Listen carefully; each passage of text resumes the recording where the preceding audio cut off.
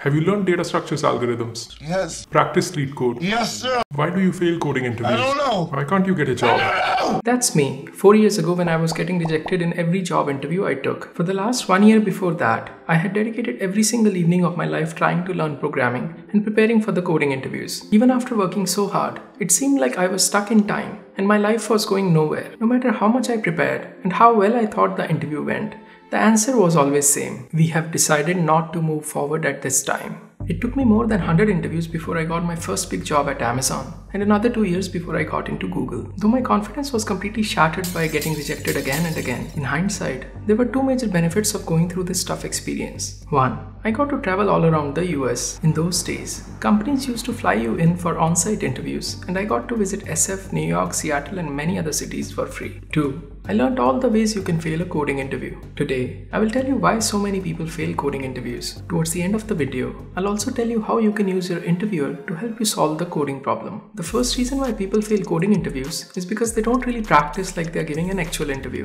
Let me explain what I mean by that. Most people will go to a platform like LeetCode, pick a question randomly and start solving it. What they don't know is that the problems asked in the actual interviews follow this very famous probability distribution. For those who are seeing it for the first time, this distribution is called normal distribution or bell curve. What this distribution tells us is that most interview problems lie somewhere in the medium difficulty range and getting a very easy or a very hard problem is relatively rare. Just to be clear, I'm saying all this from my own experience and I've not done any math for this. Anyway, I've met so many people who spend their entire time solving easy problems just to boost their confidence. And then there are others who spend all their time worrying about the hard problems on LeetCode. In reality, it's more beneficial to solve as many medium problems as possible. If you look at the distribution of problems I have solved on LeetCode, I have done roughly the same number of easy and hard problems. Easy and hard problems combined make 37% of the total problems I have solved. Rest of the 63% are all medium problems. Now it's true that you cannot directly start solving medium problems. That's why I recommended starting with easy problems and slowly building toward medium problems in my last video.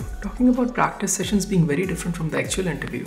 Many people use test cases to cheat during the practice. Let me show you how. Many people write the first thing that comes to their head and then hit the submit button. And then they use the failing test case to debug their code. They fix their solution for this test case and submit again, fail again and submit again. And this keeps going. You might be able to eventually submit your solution by doing this. But remember, there will be no multiple submits during the interview. Don't get me wrong, you can always write your own test cases in the interview debug the issues if there are any. But most people would not have any time left to do that. So a submit failure in the practice might be equal to a rejection in the actual interview. I know that I'm being too harsh here, but the point I'm trying to make is that you should treat your submitted solution as your final solution in the interview. Once you start saying it that way, you will be more diligent and might develop the skill of picking up those small errors by yourself rather than by submission. Talking about submitting your solution, Many people give themselves hour to solve problems in practice. As you might already know, an interview lasts somewhere between 45 minutes to an hour and that includes introductions in the beginning and some time for your questions at the end. So giving yourself unlimited time during practice doesn't really prepare you well for the interviews. As I mentioned in my last video,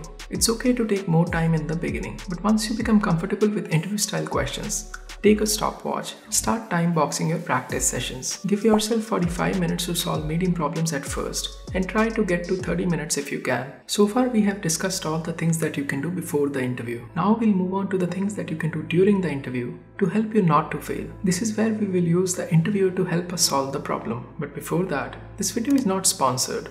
So if you want to support us, subscribe to the channel. When it comes to the actual interviews, the first mistake people make is that they don't give themselves enough time to read the problem. They get so distracted by the ticking of the time clock that they miss some important details. You might think that it can't happen to you, but trust me, one small detail can cost you really big in the interview. Let's take this very popular question on LeetCode as an example. In the two-sum problem, you're given an array of numbers and a target number. You need to find two numbers in the array that sum up to this target number. You can assume that all the numbers in the array are unique and the solution exists. You can pause the video if you want to solve the problem yourself. The optimal solution of this problem uses a hash map and this solution has order n time complexity and takes order n extra space. Now let me change the question a little bit. Instead of giving you just an array, I give you a sorted array and the rest of the problem remains the same. What will be the worst time and space complexity now? The optimal solution of this problem uses two pointers and doesn't need a hash map, so the worst case time complexity remains the same. But the solution uses no extra space. Now you would think that you will never miss an important detail like the given array is sorted, but when you have already seen the more popular non-sorted version of this problem in your practice time, and the interviewer asks you the sorted version, your brain can easily skip the sorted part to reach to the solution faster. It has happened to me many times and it can happen to you too. Another reason why people fail coding interviews is because they violate the basic design principles of programming in the interview. This is how most people's interview solution looks like. Everything that comes in the mind just gets dumped in this one place and that is the final solution. In reality, if you want to make your life easier, you should break your solution into the helper functions if possible. This is especially important if you're using the same code again and again. There are three major advantages of doing this. 1. You don't look like a newbie who doesn't really know how to write code at an actual job. 2. If the interviewer wants you to run the code and you need to debug the solution, having well-defined helper functions makes it very easy to debug. That's because you can test your helper functions separately if needed. Lastly, when you don't have enough time to code the full solution, you can just tell the interviewer that you will write this helper function that has this particular behavior at the end. If you have some time left in the end, you can obviously write this helper function. But if you don't, the interviewer might be able to see that writing the helper function is actually easier than the actual code you wrote during the interview. That way, they will be more willing to let it go if you complete rest of the solution. This only works if the helper function is not really the core part of the solution. So make your life easier by using helper functions. Another reason why people fail coding interviews is because they don't really use their interviewer enough. Most people think that the interviewer is just there to judge you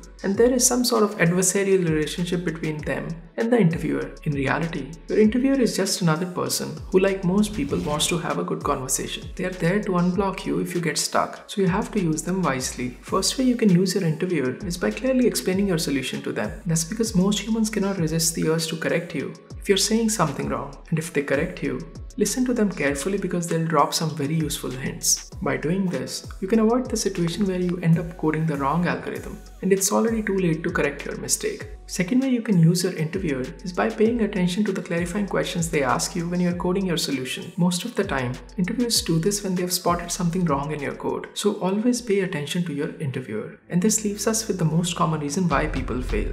And that is, they focus too much on the things that are outside their circle of control. Let me explain. This is your circle of concern. It contains all the things that you can care about for your interview. These things include whether your interviewer is a junior or a senior engineer, whether the name of your college, or having no degree will automatically get you rejected, or if your interviewer will show up on time or not. All these things impact the outcome of your interview. And within this circle of concern is a smaller circle that is your circle of control. This circle contains things like whether you have good foundational knowledge of data structures and algorithms, whether you have practiced enough questions on LeetCode, or whether you will show up on time for the interview. These are all the things that you can control. So stay inside your circle of control and keep improving yourself. Once you start doing that, nobody will be able to stop you. All the tips that I gave you today are useless if you don't practice enough problems for your coding interviews. And LeetCode is the best resource to do that. If you want to know which exact questions to practice on LeetCode and how to practice them, watch this video. My name is Sahil and I'll see you in the next one.